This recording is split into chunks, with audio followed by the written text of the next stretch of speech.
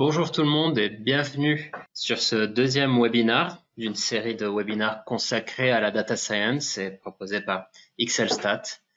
Donc, euh, nous avions commencé avant-hier par une première session portant sur la description des données. Aujourd'hui, nous allons parler d'exploration et de segmentation de données. Euh, je suis Jean-Paul Malouf. Je travaille en tant que consultant data science pour la société XLStat la société Adinsoft pardon, qui développe le logiciel XLStat. XLStat qui sera d'ailleurs le logiciel sur lequel je vais exécuter des exemples d'applications aujourd'hui. Donc, pas mal d'entre vous connaissent déjà ce logiciel, je pense, et euh, pour celles et ceux qui ne connaissent pas, ce sera l'occasion de le découvrir. les sujets ou les outils que je vais vous faire découvrir aujourd'hui, ou peut-être euh, peut-être que certains certaines personnes parmi vous les, utilisent déjà un petit peu. Ces outils-là sont relativement complexes et je vais essayer donc d'avoir un langage assez intuitif de ces méthodes-là.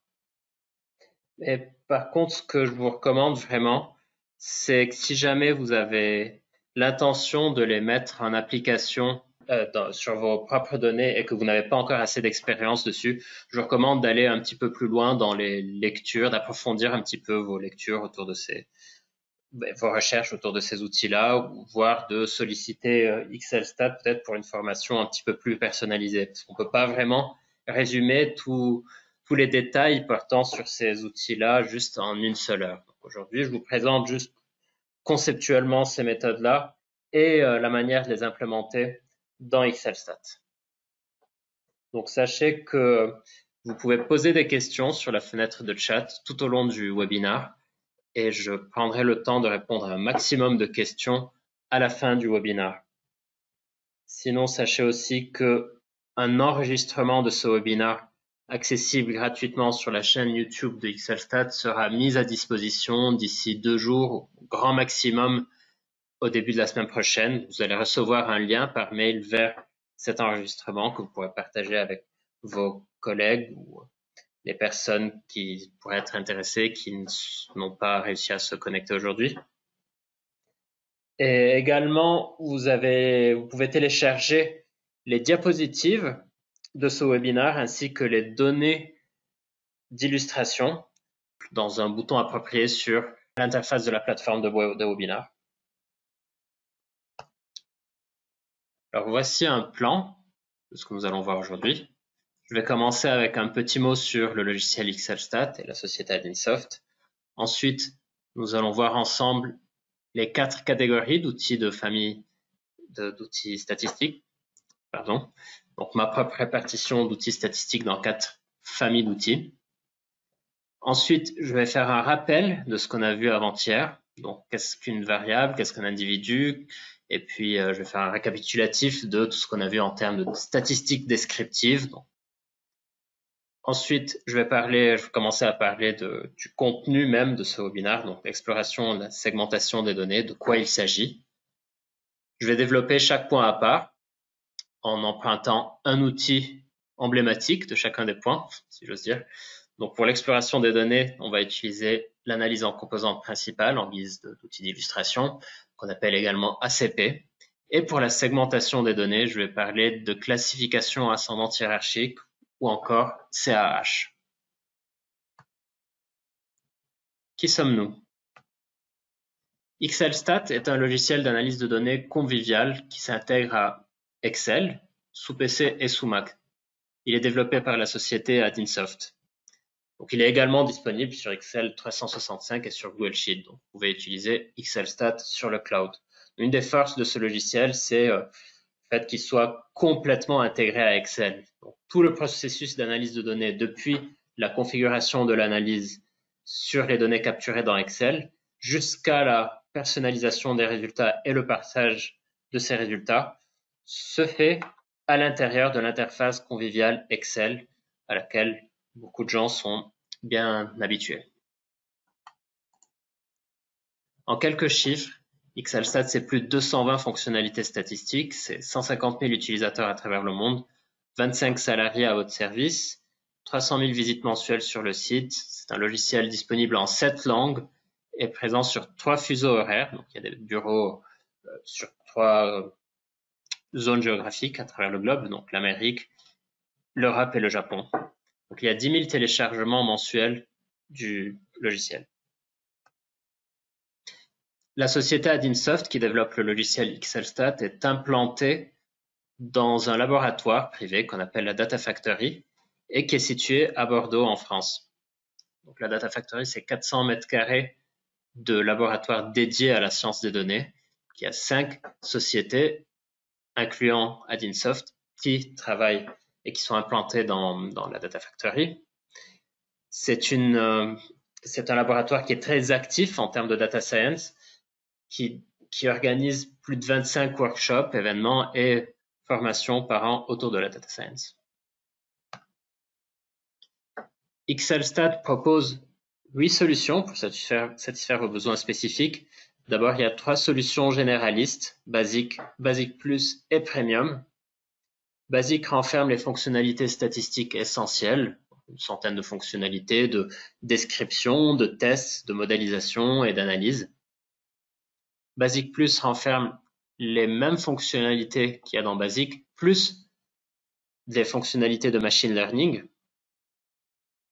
Ensuite, Premium renferme l'intégralité des fonctionnalités XLStat, bon, les 220 fonctionnalités. Et entre Basic Plus et Premium, vous trouvez cinq solutions qui sont plutôt orientées métiers. Ce sont des solutions intermédiaires, donc entre la solution de base et la solution la plus complète. XLStat Sensory est utilisé par les, experts en analyse sensorielle pour optimiser des produits d'un point de vue sensoriel. Life Sciences par les biostatisticiens, les chercheurs en, et chercheuses en médecine. Marketing pour l'optimisation de produits marketing, notamment marketing propose l'analyse conjointe, qui est une forme de méthode de sondage qui est particulière, assez puissante. Forecasting permet d'analyser les données temporelles, et de faire des prévisions sur les données temporelles et faire des analyses de risque. Quality, c'est une solution utilisée par les experts en contrôle qualité. XLStat propose plus de 200 tutoriels didactiques en ligne avec jeux de données à télécharger à l'appui. Donc chaque fonctionnalité XLStat est associée à un tutoriel en ligne et je vous recommande vivement d'avoir recours à ces tutoriels-là au moment où vous allez mettre en place telle ou telle méthode d'analyse dans XLStat. Sachez également que XLStat développe la chaîne YouTube de vulgarisation StatCafé qui propose un format de vidéo assez court dans lequel on présente des fonctionnalités statistiques avec des cas d'application sur des données réelles via XLStat. Alors voici ma manière de subdiviser les outils statistiques dans quatre familles d'outils. Donc, je commence avec la famille de description des données qui a fait l'objet du premier webinaire de cette série de webinaires. Donc, cette famille d'outils permet de décrire des variables isolées ou des liens entre deux variables. On a parlé notamment de la moyenne, de l'écart type, du boxplot, nuage de points, d'histogramme, etc. Aujourd'hui, nous allons nous focaliser sur cette famille-là. Une famille d'outils d'exploration et de segmentation des données qui permet de plonger facilement dans un jeu de données multivarié pour trouver des patterns à l'intérieur sans forcément avoir une question précise derrière la tête. Parmi les outils les plus courants en exploration et segmentation des données, on parle d'ACP ou analyse en composantes principales, d'AFC, de CAH, de classification K-means, et ainsi de suite. Ensuite, les tests statistiques permettent d'accepter ou de rejeter une hypothèse bien précise en assumant des risques d'erreur. Donc, on pose une question très précise dont la réponse est oui ou non. Et les tests statistiques permettent donc de trancher en prenant des risques d'erreur, évidemment. Donc, ce sera l'objet du prochain webinaire la semaine prochaine. Et enfin, la modélisation statistique permet de comprendre comment évolue une variable en fonction d'un ensemble d'autres variables ou de paramètres. Au sein de la modélisation statistique, on peut parler de régression, d'ANCOVA, d'ANOVA. Sachez que la modélisation statistique permet de faire des prédictions également. Et donc, on parlera encore une fois de modélisation statistique au cours de webinar de la semaine prochaine et celle d'après. Donc, il n'y a pas vraiment de limite franche entre ces familles-là. Regardez, la Nova se retrouve ici et ici, par exemple. C'est juste ma manière de subdiviser ou de répartir les outils statistiques dans des catégories précises pour construire une sorte d'histoire d'apprentissage des outils statistiques en allant des outils les plus basiques jusqu'aux outils les plus complexes. Si vous souhaitez visionner un enregistrement du premier webinaire, vous avez un lien que vous pouvez cliquer ici pour y accéder. Donc n'hésitez pas à y aller, à jeter un coup d'œil si jamais vous l'avez raté ou si jamais vous voulez le visionner de nouveau. Un petit rappel de ce qu'on a vu avant-hier, dans, le cadre des statistiques descriptives. Qu'est-ce qu'une variable, qu'est-ce qu'un individu? Une variable, c'est un élément mesurable qui peut prendre différentes valeurs. Je vous ai proposé deux grandes familles de variables, de types de variables, même si les choses sont un petit peu plus complexes que ça, mais j'ai voulu être assez synthétique. Donc j'ai parlé de variables quantitatives, il s'agit des variables, de variables qui peuvent s'exprimer en nombres, en chiffres, qui peuvent être quantifiés et qui reflètent un ordre défini. Donc euh, je cite pour exemple le nombre d'articles achetés, la taille, le poids, puis un score donné dans une, euh, sur une question de sondage, par exemple. Le score allant de 1 à 5 ou d'un à 10. Ça peut être une masse et ainsi de suite. Ensuite, j'ai parlé de variables qualitatives par opposition à variables quantitatives qui permet d'affecter une catégorie ou une modalité à un individu. On ne peut pas la quantifier. Par exemple, la catégorie socio-professionnelle, l'origine géographique, le groupe sanguin, le traitement expérimental dans le cadre d'un, je sais pas, d'une étude agronomique, par exemple. On ne peut pas classer les, les, groupes sanguins dans un certain ordre. Il n'y a pas vraiment d'ordre établi parmi les modalités. Ce sont vraiment des modalités indépendantes, nominales. Donc voilà pour l'opposition entre variables quantitatives et variables qualitatives. C'est très très important de comprendre euh, cette opposition-là pour la suite. Un individu ou une observation, c'est une unité statistique élémentaire. Donc, ça peut être un, répondant à un sondage, ça peut être un client d'un magasin, ça peut être un patient dans le cadre d'une étude clinique, ça peut être une parcelle expérimentale dans le cadre d'une étude agronomique, ça peut être une mesure sur une machine le contrôle qualité, ça peut être un juge dans le cadre de l'analyse sensorielle. Donc, comment est-ce qu'on présente, dans la majorité des cas, les jeux de données pour l'analyse dans des logiciels de statistiques ou de data science? Donc, dans la majorité écrasante des cas, on place des individus en ligne et les variables en colonne. Je vais utiliser ce jeu de données-là pour illustrer notamment l'ACP, l'analyse en composantes principales. C'est un jeu de données que j'ai déjà présenté la dernière fois.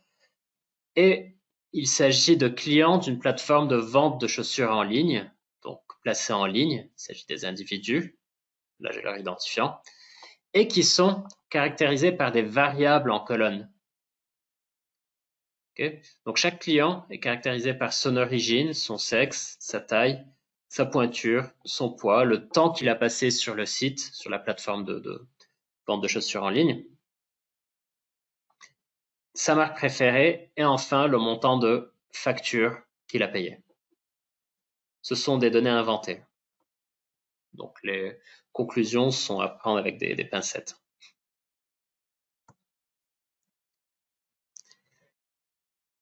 Alors voilà un petit récapitulatif de ce des différentes méthodes qu'on a vues la dernière fois. Donc je vous ai encore une fois remis le lien de l'enregistrement ici. Pour décrire une variable qualitative, on avait pris, je vous rappelle, la marque préférée. Pour décrire cette colonne-là de manière isolée la dernière fois, on avait comptabilisé le nombre d'occurrences de chacune des marques, ce qui correspond à un trait à plat. On a caractérisé le mode, puis on a représenté le trait à plat sous forme de diagramme en bâton.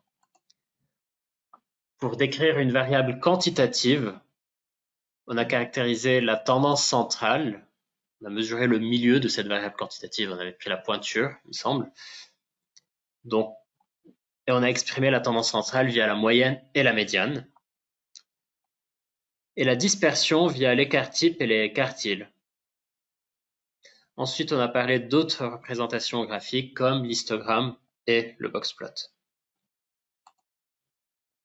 Pour étudier le lien entre deux variables qualitatives, je vous rappelle qu'on a essayé d'étudier le lien entre marque préférée et origine. Donc, comment caractériser le profil de marque préférée par origine. On a effectué un tri croisé ou un tableau de contingence. Ensuite, pour caractériser le lien entre deux variables quantitatives, donc on avait pris montant de la facture en fonction du temps passé sur le site. Pour caractériser le lien entre ces deux variables-là, on a simplement dessiné un nuage de points. On a évoqué les coefficients de corrélation qui mesurent de manière chiffrée le lien linéaire, la force du lien linéaire entre deux variables quantitatives, mais je ne suis pas entré dans le détail, ce sera l'objet, ça fera un des objets du webinaire de la semaine prochaine sur les tests statistiques. Ensuite, pour la description du lien entre une variable quanti et une variable quali, j'ai lancé des statistiques quanti par modalité de la variable quali. Puis on a fait des graphiques avec des boxplots multiples par modalité de la variable quali. Et enfin, j'ai pris ce cas particulier pour clôturer le webinaire la dernière fois et faire la transition vers le webinaire d'aujourd'hui. Je vous ai demandé comment est-ce qu'on pourrait caractériser le lien parmi trois variables, deux variables quantitatives et une variable qualitative. Je vous ai proposé de dessiner un nuage de points coloré en fonction de la variable qualitative et voici ce que ça avait donné. Donc là, j'étudie le lien entre montant facture et temps passé sur le site. Il s'agit de deux variables quantitatives. Et j'ai inclus, j'ai incorporé l'information de la variable qualitative origine sous forme de différentes couleurs. Là, j'exploite le lien entre les trois variables. Donc j'avais dit que le montant de la facture diminue globalement en fonction du temps passé sur le site si j'ignore un petit peu l'origine. Les clients plutoniens, les clients en orange, passent moins de temps sur le site que les autres clients. Et en plus, ils ont un montant de facture plus élevé. Les martiens et les terriens forment un groupe relativement homogène. Donc les points bleus et les points gris sont relativement homogènes. Donc je suis en train d'explorer un petit peu ce jeu de données-là via un graphique très simple. Et grâce à ce graphique simple, j'arrive à sortir pas mal de conclusions, pas mal d'hypothèses. J'arrive à avoir une belle exploration. Donc la transition vers le webinaire d'aujourd'hui était celle-là. Imaginez le même raisonnement sur un nombre plus élevé de variables.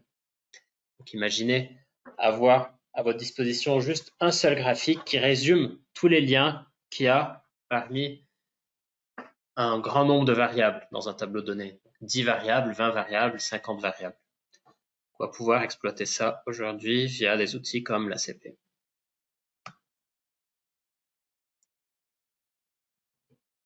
Alors, je vais commencer par définir l'exploration des données. L'exploration des données, c'est le fait de rechercher de l'information dans un jeu de données à plusieurs variables. Et certains outils, qu'on va illustrer aujourd'hui, permettent de concentrer l'information de gros tableaux de données, donc avec beaucoup de variables, juste sur quelques dimensions quelques colonnes. Donc l'exploitation de ces quelques colonnes nous permettrait d'avoir une vision de l'ensemble du jeu de données. Les outils utilisés dans ce cas-là, typiquement, sont l'ACP, l'ACM ou l'AFC. Et voilà ce à quoi ressemble une ACP. On va avoir l'occasion de commenter ça en long et en large. Sinon, les outils de segmentation sont des outils qui permettent de classer des observations ou des individus dans des groupes homogènes. C'est-à-dire qu'on part d'un tableau de données avec des individus ou des lignes, des observations qui sont mélangées comme ça, les outils de classification permettent de faire le tri et de classer donc les différentes observations qui se ressemblent dans le même groupe. Par exemple, on peut classer des individus ou des patients en groupes similaires selon leur protéome, selon leur euh, diagnostic. On peut segmenter des consommateurs selon leur profil de consommation qui est, illustré dans un, leur réponse à un sondage peut classer des villes en différents groupes par rapport à des critères socio-économiques. parmi les outils les plus utilisés pour la segmentation des données, je vais citer la CAH, AHC en anglais, et la méthode Camins. Ce sont vraiment les deux outils les plus utilisés à cette échelle. voici un tout petit guide de choix d'une méthode d'exploration ou de segmentation appropriée en fonction du type de données que vous avez en entrée. Donc, je vais commencer d'abord par cette colonne-là, la colonne exploratoire. Si en entrée, vous avez des variables exclusivement quantitatives, je vous recommande de partir sur l'ACP, l'analyse en composants principales, qui est la méthode la plus communément utilisée. Si vous avez un tableau de contingence en entrée, un grand tri croisé en, entrée, l'outil d'analyse le plus utilisé dans ce cas, c'est l'AFC ou l'analyse factorielle des correspondances. L'analyse factorielle des correspondances est aussi pas mal utilisée en marketing pour euh, cartographier les différents attributs d'image des marques avec les marques. Ou sinon, en analyse sensorielle, l'AFC est également pas mal utilisée pour euh, cartographier les attributs avec les produits notamment dans les études kata, donc check all apply. Si vous avez en entrée des variables exclusivement qualitatives, donc typiquement des sondages, l'analyse des correspondances multiples peut s'avérer utile. Récemment, XLStat a développé l'ACP pour données mixtes, donc qui permet d'explorer un tableau qui présente un mélange de variables quantitatives et qualitatives. Et enfin, pour les données plus complexes, qui renferment plusieurs tableaux de données, vous voulez étudier carrément les relations qu'il y a parmi les tableaux.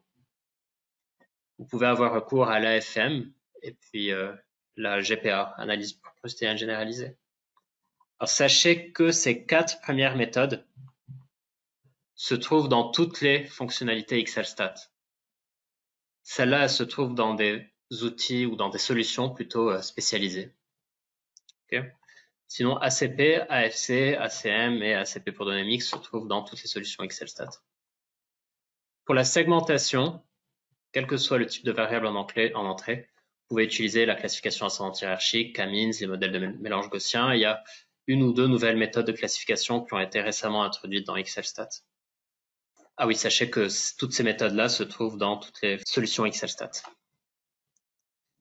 Je vous inclus deux liens deux guides qui sont un petit peu plus étoffés que cela, notamment un guide d'outils d'exploration qui se présente de la sorte. Donc à partir de votre problématique, est-ce que vous avez une problématique exploratoire, de votre nombre de tableaux de données en entrée et une description des données. Donc si vous avez des variables exclusivement quantitatives et vous avez un seul tableau de données à explorer, pouvez utiliser l'ACP, vous pouvez aussi, utiliser l'analyse factorielle. Donc là, je vous ai mis les différences, certaines subtilités qu'il y a dans la différence entre les méthodes. Si vous voulez explorer une grande matrice de proximité, vous pouvez utiliser MDS ou PCOA pour l'exploration d'un tableau de contingence AFC, comme je vous ai dit, ainsi de suite. là, il y a des méthodes qui sont applicables sur plus de deux tableaux de données, notamment l'AFM, la GPA. Sinon, il y a des méthodes qui sont applicables sur deux tableaux de données. Donc, vous pouvez essayer d'expliquer un tableau de données par un autre tableau de données, étudier la corrélation entre deux tableaux de données. Alors, je vais prendre l'exemple de l'analyse en composantes principales pour illustrer l'exploration des données. Donc, imaginez qu'on veuille explorer un, un, tableau avec quatre colonnes, donc taille, pointure, poids et temps passé sur le site. Nous allons avoir recours à l'ACP pour exploiter ces données-là qui permet de résumer un jeu de données de variables quantitatives de plusieurs colonnes sur quelques graphiques simples, qui pourront alors nous permettre d'examiner les relations entre les variables, puis la proximité des observations ou des individus les uns avec les autres, et puis la caractérisation des observations ou des groupes d'observations par les variables. je vous montre un petit spoiler euh, des résultats de l'ACP. Ça, c'est un, un, des résultats qui sont fournis par l'ACP, c'est le biplot, je suis pas, je suis pas un friand défenseur des biplots, mais je voulais quand même inclure ici parce que c'est une représentation assez synthétique de, de l'ACP. Je préfère avoir donc euh, plutôt des graphiques du type cercle des corrélations et graphiques des observations à part. Mais bon, ça vous donne déjà une idée de ce à quoi ressemble l'ACP. Pour le moment, oubliez un petit peu ce F1 et ce F2, on aura l'occasion d'y retourner. Mais regardez un petit peu c'est déjà ces vecteurs en rouge. Ces vecteurs rouges sont associés aux variables. Donc, chaque vecteur correspond à une variable. Donc si on se focalise vraiment sur ces vecteurs rouges, on peut exploiter les liens 2 à 2 qu'il y a parmi les variables. Donc, deux variables séparées par un angle aigu sont positivement corrélées ou sont positivement liées. Donc là, par exemple, taille et poids. Lorsque la taille augmente, le poids augmente. Deux variables qui sont séparées par un angle obtus ou un angle large, par exemple poids-taille versus temps passé sur le site, sont négativement liées. C'est-à-dire que lorsque l'une augmente, l'autre diminue. Et enfin, deux variables qui sont séparées par un angle droit, par exemple poids versus pointure, ne sont pas liées. Parce que le poids change, la pointure n'est pas affectée. Vous avez vraiment un résumé de tous les liens deux à deux entre les variables grâce à ce graphique.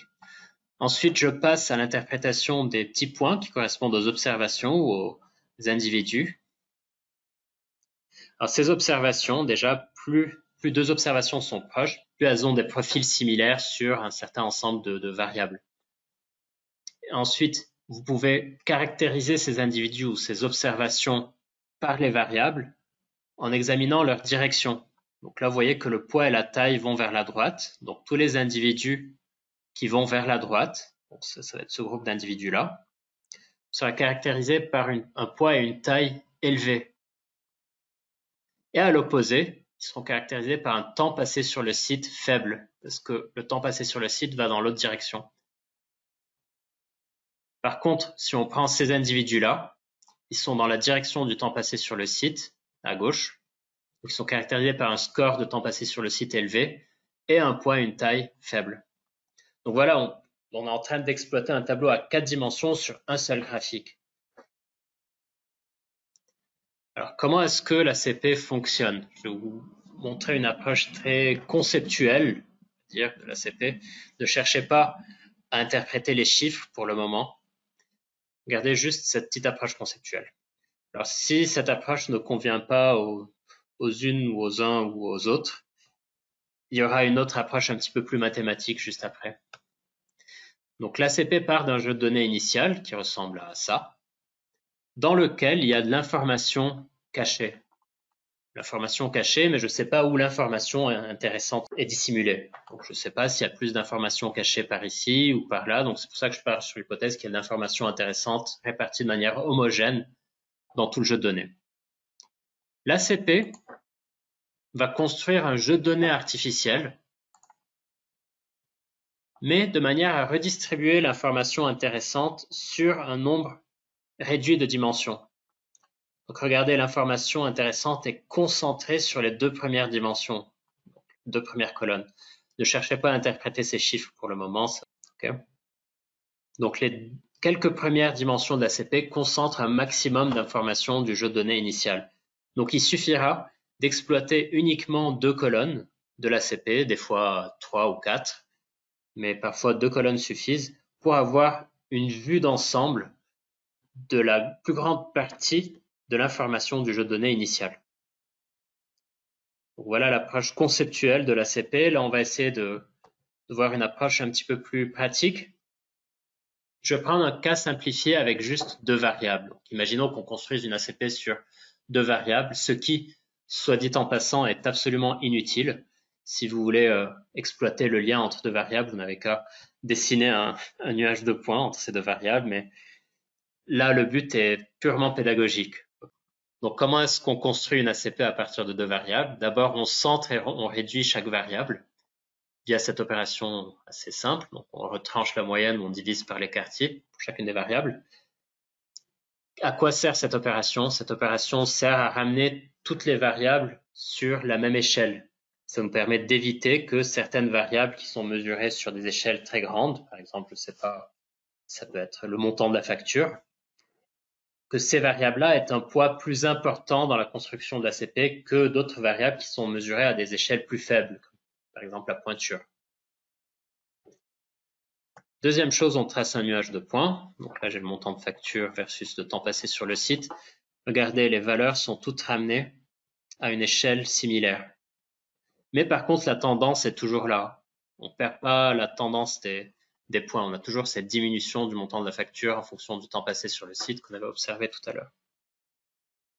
Donc jusqu'ici, tout va bien. On a simplement effectué cette opération et on a tracé un nuage de points. Qu'est-ce qu'il y a d'intéressant dans ce nuage de points à capturer? Quelle est l'information la plus intéressante qu'on aimerait visualiser dans un outil qui résume un tableau de données? L'information la plus intéressante ici, l'étirement des points, c'est cette diminution du temps passé sur le site ou du montant de la facture en fonction du temps passé sur le site. Donc dans l'idéal, on aimerait bien capturer cet étirement de points qui va dans cette direction-là. Et c'est ce que l'ACP va chercher à faire. L'ACP va tracer une ligne, va essayer de tracer une ligne dans ce nuage de points de manière à capturer un maximum d'étirement dans les données. Et cette ligne se trouve là. Cette ligne se définit par la largeur de l'étirement des points tout le long de cette ligne. En fait, ce qui se passe, c'est qu'on projette les points sur la, sur la ligne et on mesure l'étirement. Évidemment, c'est une manière très vulgarisée d'illustrer l'ACP, mais c'est juste à titre de compréhension. Et c'est de cette information que je vous parlais tout à l'heure quand je vous parlais de la, de la représentation conceptuelle de l'ACP. L'information intéressante capturée par les dimensions de l'ACP, c'est l'étirement dans le nuage de points. Alors, cette flèche-là sera simplement la première dimension de l'ACP. Deuxième étape, nous avons construit notre première dimension. Nous allons rechercher notre deuxième dimension. Donc la deuxième dimension va rechercher un maximum d'informations restantes ou un maximum d'étirements restants dans les points. Après qu'une une grande partie de l'étirement a été capturée par la première dimension. Et il y a une contrainte importante, la deuxième dimension doit être orthogonale à la première. Dans notre cas, il n'y a qu'une seule direction possible, orthogonale à la dimension f1, et c'est cette dimension-là. Donc la dimension f2 est fixée. Donc ainsi de suite pour f3 et f4. Maintenant, dans notre cas caricatural, on s'arrête à f2 parce qu'il n'y a que deux variables à l'origine. Si on avait eu trois variables, on aurait eu une troisième dimension, et ainsi de suite. Toutes les dimensions de la CP sont orthogonales entre elles. Toutes les dimensions de la CP sont perpendiculaires entre elles. Ensuite, on fait une petite rotation, donc des deux dimensions, et on obtient notre ACP. Et donc l'ACP euh, affiche en général la part d'information ou la part d'étirement portée ou capturée par chacune des dimensions. Donc là, on voit que la première dimension capture 83,5% de l'étirement ou de l'information du jeu de données initial. La deuxième dimension n'en capture que 16,5. La première dimension est très très importante, la dimension deuxième elle est moins, et ainsi de suite. Un peu de jargon.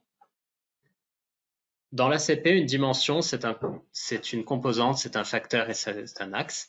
Il s'agit de d'une colonne synthétique produite par l'ACP.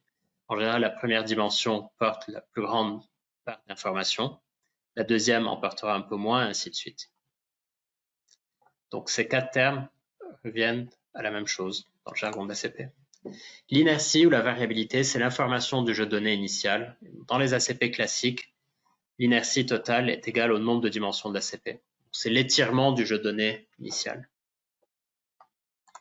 Une eigenvalue, ou une valeur propre, c'est la part d'inertie portée par une dimension en particulier.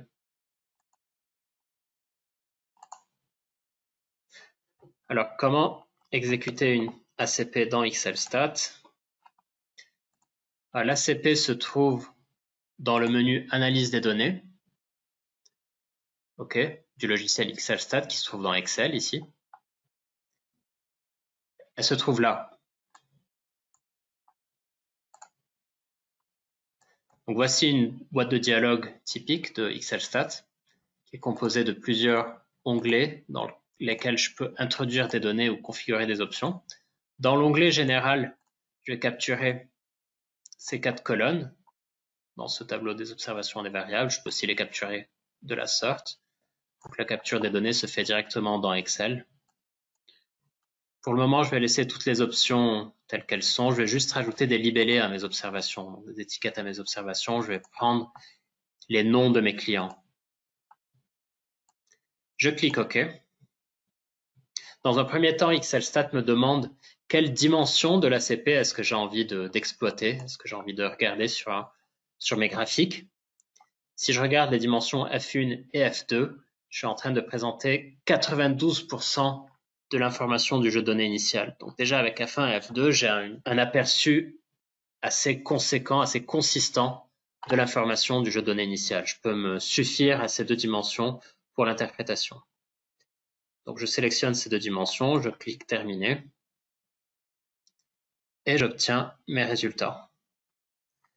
Donc il y a un bon nombre de chiffres qui sortent dans les outputs, dans les sorties d'ACP dans XLStat. Je ne vais en commenter qu'une toute petite partie. Sachez que les autres parties ont leur importance également. Malheureusement, en une heure, je ne peux pas tout commenter. Tout d'abord, j'ai un petit tableau qui présente les valeurs propres ou la part de variabilité portée par chacune des dimensions. Donc la première dimension porte 2,5 de variabilité, la deuxième 1,13 et ainsi de suite. ces valeurs-là n'ont pas vraiment d'unité, mais euh, c'est peut-être un petit peu plus intuitif de les représenter en pourcentage. Donc F1 porte 63,6% de la variabilité du jeu de données initial, F2 28%, et donc AL2, F1 et F2 portent 91,98% de l'inertie du jeu de données initial. Donc représenter ces deux dimensions sur un graphique nous permet d'avoir un bel aperçu de cette inertie. Ce tableau est représenté par ce qu'on appelle un script plot. C'est simplement les valeurs propres présenté en bar chart ou en diagramme en bâton. Ensuite, premier graphique très important sur lequel j'aimerais m'attarder un petit peu, c'est le graphique des variables. Donc, ce graphique des variables représente toutes ces variables-là sur des vecteurs, la pointure, le poids, la taille, le temps passé sur le site. L'axe horizontal correspond à la première dimension et l'axe vertical correspond à la deuxième dimension d'ACP. Donc, ce sont des dimensions que j'ai sélectionnées dans XLStat. C'est un choix que j'ai effectué au moment de l'exécution de l'analyse. Alors, comment interpréter les choses? Je vous ai dit que les, liens entre variables s'interprètent en termes d'angle. Deux variables séparées par un angle aigu dénotent un lien positif, donc entre poids et taille par exemple. Deux variables séparées par un angle droit ne sont pas liées, comme poids versus pointure par exemple.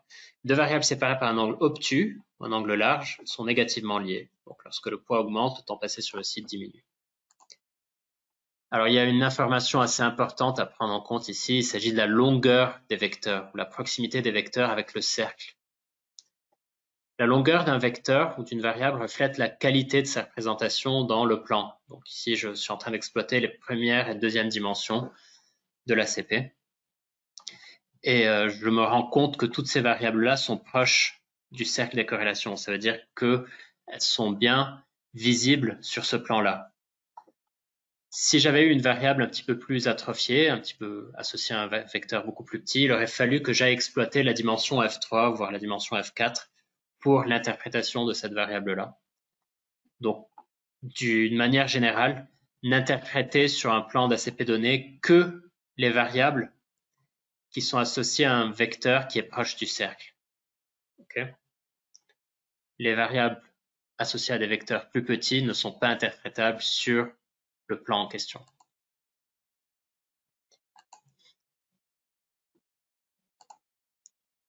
Alors, comment interpréter F1 maintenant, pour cette première dimension? Il s'agit de regarder encore une fois les angles. Donc, l'angle entre F1 et les variables poids et taille est aigu. Donc l'axe F1 est lié au poids et à la taille qui, sont, qui seront élevés à droite et faibles à gauche. Par ailleurs, il y a un angle assez grand entre F1 et le temps passé sur le site. Donc il y a un lien fort négatif entre F1 et, et temps passé sur le site. Donc F1 est lié à cette variable-là négativement. On aura des fortes valeurs de temps passé sur le site à gauche et de faibles valeurs de temps passé sur le site à droite.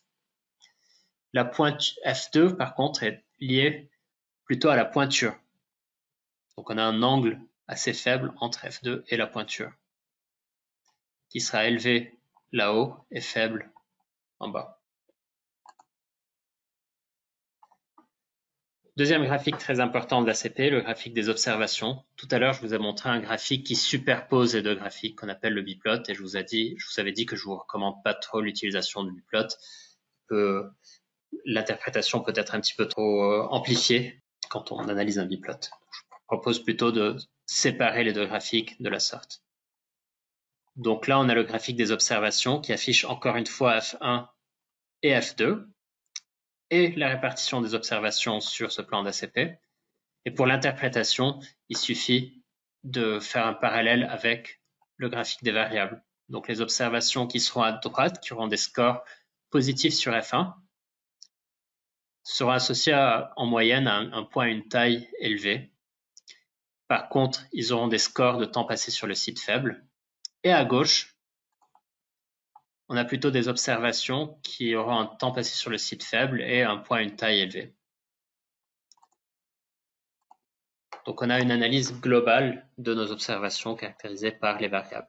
Et attention, les conclusions que vous obtenez à partir d'une ACP doivent toujours être assez nuancées. C'est une méthode exploratoire, c'est pas vraiment une méthode hypothético-déductive, donc vous ne pouvez pas prendre des décisions très très fermes à partir d'une ACP. Donc, l'ACP vous donne juste des idées de l'information que vous pouvez aller exploiter euh, de manière plus précise si jamais elle vous intéresse. Donc voilà un petit peu tout ce qu'on peut dire à partir de cette ACP. Le poids augmente avec la taille, le temps passé sur le site diminue avec poids et taille. La pointure n'est pas liée au poids à la taille. Il y a deux groupes d'individus à gauche à droite.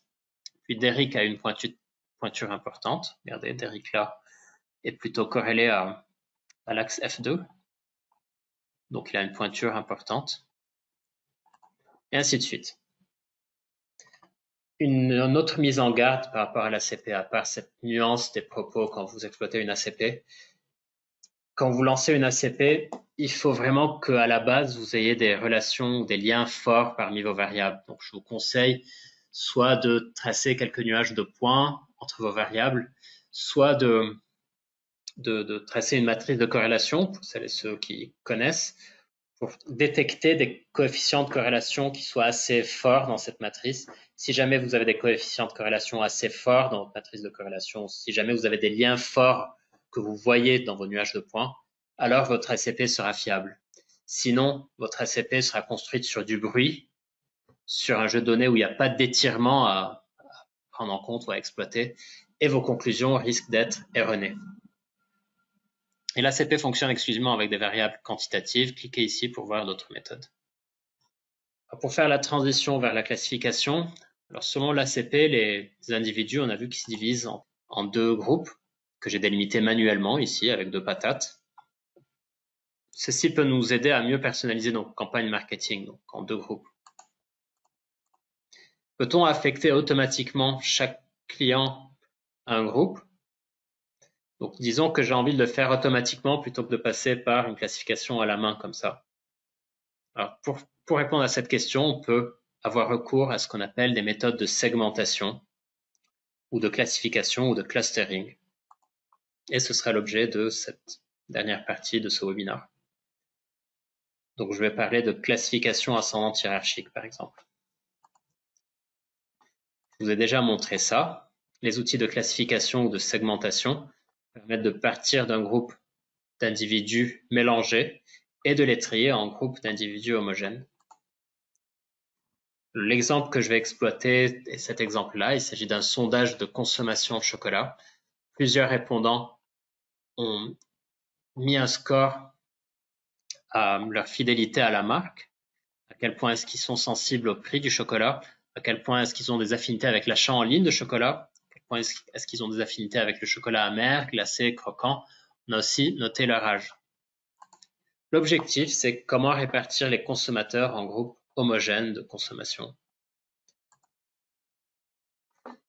Les outils utilisés à cette échéance sont les outils de classification ou de segmentation qu'on appelle en anglais les outils de clustering. Un groupe, dans le jargon de ces outils-là, un groupe égale une classe, égale un segment, égale un cluster. Quand je vais utiliser ces termes-là, je voudrais dire la même chose. Je fais référence à la même chose.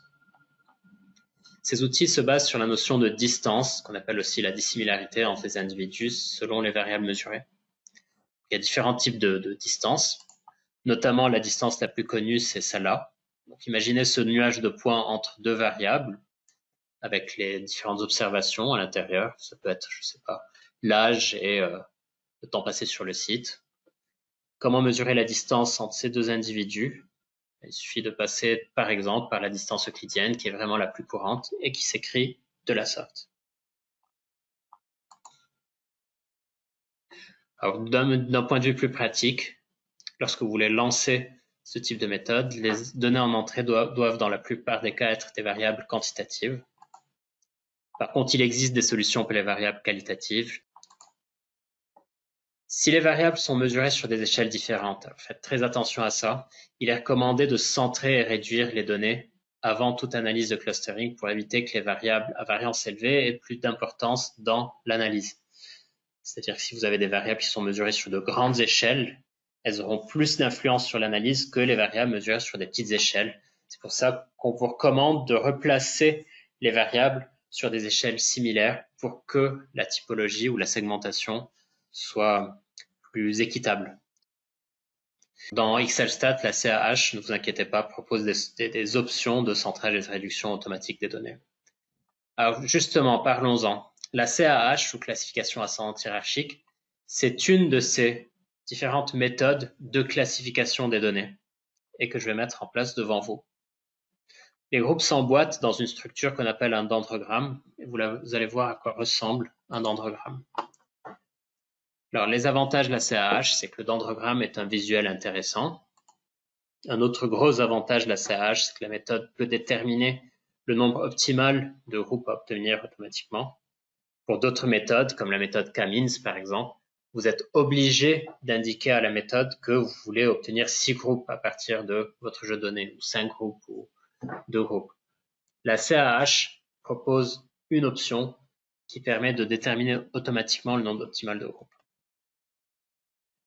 Alors, je vous montre une, illustration de la CAH avec uniquement deux variables et trois segments dans la diapo qui suit. Je vais illustrer la CAH juste avec deux variables, mais évidemment, la méthode se généralise sur un nombre euh, infini de variables. Je vais commencer par dessiner un nuage de points entre ces deux variables-là, donc sensibilité au prix et croquant, c'est un nuage de points en 3D. Et puis là, j'ai mes différentes observations que j'ai réparties. Dans un premier temps, je considère que chaque observation ou chaque consommateur, chaque répondant correspond à un groupe. Donc au tout début, j'ai 19 groupes différents, 19 points différents. La CAH va calculer toutes les distances 2 à 2 parmi ces groupes-là ça peut être la distance euclidienne que je vous ai montré tout à l'heure. Et on va simplement associer les deux groupes les plus proches dans un même groupe. Ça va être ces deux groupes-là, ces deux points-là. Donc ces deux points-là ont été fusionnés dans un même groupe. C'était les deux points les plus proches dans le nuage de points. Donc on passe de 19 groupes à 18 groupes. Parce que ces deux points ont été fusionnés. Ensuite, le processus recommence on va calculer toutes les distances 2 à 2 parmi les groupes et associer les deux groupes les plus proches. Donc on passe à 17 groupes. De nouveau, on calcule toutes les distances entre les groupes 2 à 2, on associe les deux groupes les plus proches et on monte petit à petit dans une structure qu'on appelle un dendrogramme. On s'arrête, on arrête la construction au moment où on n'a plus qu'un seul groupe. Tout le monde fait partie du dendrogramme à partir de là, on demande au logiciel de couper un endroit horizontalement, ce qui va nous permettre de déterminer nos segments. Donc voilà mes trois groupes de consommateurs. un groupe qui est peu sensible au prix et qui, n'aime pas trop le chocolat croquant. On a un groupe qui est plutôt sensible au prix et qui aime le chocolat croquant. C'est juste à titre indicatif.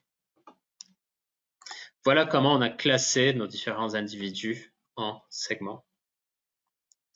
Évidemment, ça se généralise sur plus de deux variables. Là, je vous l'ai fait sur deux variables parce que c'est, on peut le visualiser avec un œil humain, mais ça se fait sur euh, n dimensions. Alors, comment lancer une CAH dans XLStat Je vais aller dans le jeu de données chocolat qui se trouve là, dans votre jeu de données. Je vais aller dans Analyse des données, Classification ascendante hiérarchique, Dans ce champ-là, je vais sélectionner mes différentes variables sur lesquelles je veux construire ma typologie ou ma segmentation. Ici, je vais prendre les libellés des lignes, les étiquettes de mes différentes observations. Dans les options, je peux demander à XLSAT de centrer et de réduire automatiquement les colonnes. C'est très important dans ce cas parce que, regardez, l'âge est mesuré sur une échelle qui est très différente des autres variables qui sont des scores de 1 à 10. Donc pour amener l'âge à la même échelle que les autres variables, il faut centrer et réduire les données. Je vais demander une troncature un découpage du dendrogramme automatique. J'aurais pu demander à XLStat de couper le dendrogramme en deux ou trois ou quatre groupes, mais je lui demande juste ici de le couper en nombre de groupes euh, optimal, automatiquement. Donc je clique OK. Donc parmi les résultats que j'obtiens, le fameux, dendrogramme qui se trouve là. Il a été coupé horizontalement, ce qui a déterminé trois groupes, un vert, un rouge, un bleu.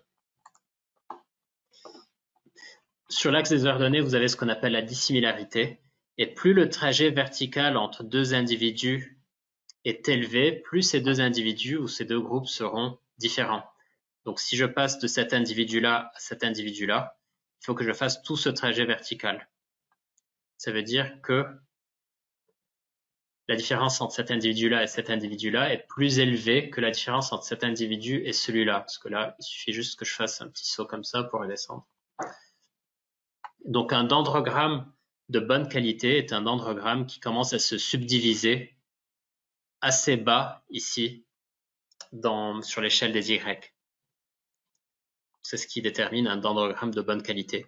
Si on avait commencé à avoir des ramifications plus haut, ici et là, ça aurait voulu dire que notre jeu de données n'est pas organisé vraiment en clusters ou en différents groupes.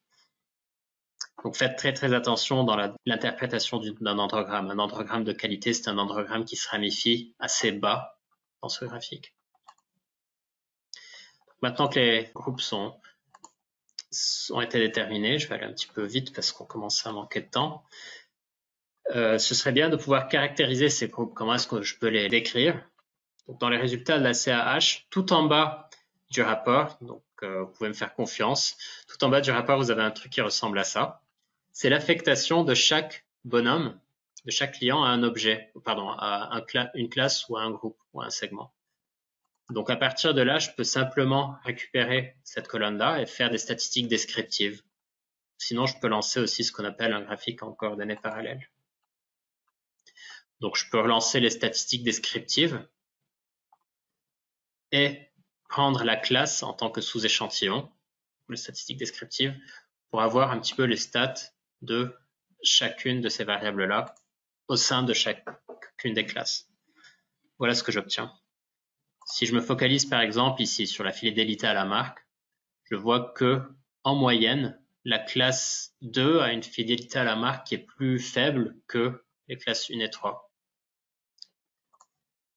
Par contre, en termes d'âge, je me rends compte que la classe 2 a un âge en moyenne plus faible que les deux autres classes.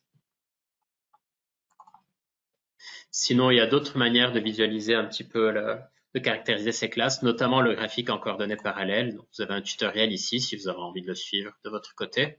Sinon, vous pouvez suivre la configuration que j'ai capturée ici dans, dans le PDF. Voilà ce à quoi ressemble un graphique en coordonnées parallèles. Donc, sur l'axe des X, j'ai chacune de mes variables. Et puis, chaque classe est représentée par une ligne, couleur différente. On voit que pour le, Groupe 3, donc la ligne verte, concentrez-vous sur la ligne verte. On a un âge plutôt élevé. on a un score de glacé plutôt faible, amer plutôt élevé, et puis fidélité à la marque plutôt élevée. Donc, ce sont des consommateurs âgés, fidèles à la marque, qui préfèrent le chocolat amer et euh, qui, qui achètent moins en ligne. Par contre, le groupe bleu est, constitué de consommateurs plutôt jeunes, qui sont peu fidèles à la marque, qui sont sensibles au prix. Donc, en termes de conséquences marketing, on peut promouvoir des chocolats amers à ce segment et puis promouvoir des chocolats moins chers pour les plus jeunes. Donc, si je récapitule, je vous affiche de nouveau ce tableau qui renferme les différents outils d'exploration d'un côté et différents outils de classification. Et toutes ces statistiques descriptives et exploratoires nous ont inspiré un bon nombre d'hypothèses. Est-ce que ces hypothèses sont valides? Ce sont les tests statistiques qui nous permettront de répondre à cette question. J'espère pouvoir que vous pourrez être des nôtres encore une fois la semaine prochaine, le mardi 21 avril, pour ce webinaire. Donc, je vous rappelle que vous avez un lien d'enregistrement ici. N'hésitez pas à nous retrouver sur les réseaux sociaux. Je vais répondre à deux ou trois questions. Combien de variables en moyenne sont-elles utiles pour réaliser une ACP pense qu'à partir de quatre variables, une ACP peut commencer à être intéressante. Lorsque la somme des répartitions F1 et F2 est de l'ordre de 50-60% ou moins encore, doit-on utiliser une autre méthode pour expliquer la variabilité et laquelle? Donc lorsque vous avez uniquement 60% dans la CP, vous avez uniquement 60% de l'inertie qui est représentée sur les axes F1 et F2. Donc si la somme de ces deux axes, de l'inertie par ces deux axes est assez faible, une solution, si jamais votre SCP est fiable, évidemment, si jamais il y a des étirements intéressants dans votre jeu de données, une solution serait d'exploiter F3 pour passer à un pourcentage encore plus élevé. Alors, comment exploiter la dimension F3 dans XLStat Je vais reprendre la boîte de dialogue ACP en cliquant ici. Je vais relancer l'ACP. Et donc, je peux prendre F1, F2 par exemple, exploiter F1, F2, et je peux aussi afficher F3 sur un autre graphique. Donc, j'ai une deuxième configuration F1, F3. Je clique sur sélectionner et terminer. Et j'aurai une série de graphiques pour chaque configuration que j'aurais sélectionnée dans cette petite boîte de dialogue. Donc là, regardez, j'ai, ici j'ai F1, F2, et là j'ai F1, F3. Donc on voit que F3 n'a pas vraiment d'importance dans le cadre de ce jeu de données, mais au cas où F3 apportait une inertie importante dans d'autres jeux de données, il serait intéressant de, l'exploiter. Peut-on colorer les différents points sur le graphique des observations en fonction de leur origine? Euh, oui, oui, d'ailleurs, ça enrichit beaucoup notre ACP. Je vais relancer mon ACP et je vais aller dans l'onglet graphique. Regardez, vous avez différents sous-onglets qui permettent de personnaliser chacun des graphiques de l'ACP. Donc, le graphique des variables, le cercle des corrélations, le graphique des observations, le biplot et le graphique bootstrap que je n'ai pas mentionné. Donc, dans le graphique des observations, peux demander à Excelstat de colorer mes observations selon leur appartenance à telle ou telle origine. Donc, je sélectionne la colonne B pour que les observations soient colorées en fonction de l'origine. Je clique OK. Et donc, là, je vais descendre. Et voilà, là, j'ai mes observations qui sont colorées en fonction d'origine. Et c'est une très belle ACP parce qu'on voit que les planètes sont pas mal bien séparées sur, sur l'ACP. Donc, à droite, j'ai euh, les, plutoniens, à gauche les terriens et les martiens. Bon, je vous remercie pour votre attention et pour les questions que vous avez posées. Donc, n'hésitez pas à aller un petit peu plus loin dans vos lectures, dans vos recherches par rapport à ces méthodes-là, parce que des fois, on peut très vite être dérouté euh, par euh, l'interprétation et faire des interprétations un petit peu trop hâtives et peut-être fausses. Donc, je vous recommande vivement de bien faire des recherches avant de les implémenter si jamais vous n'avez pas d'expérience là-dedans, ou sinon de solliciter XHStat pour des formations personnalisées. Moi, j'espère pouvoir vous retrouver euh, mardi prochain pour le webinaire sur les tests statistiques. Je vous remercie et vous souhaite une bonne fin d'après-midi.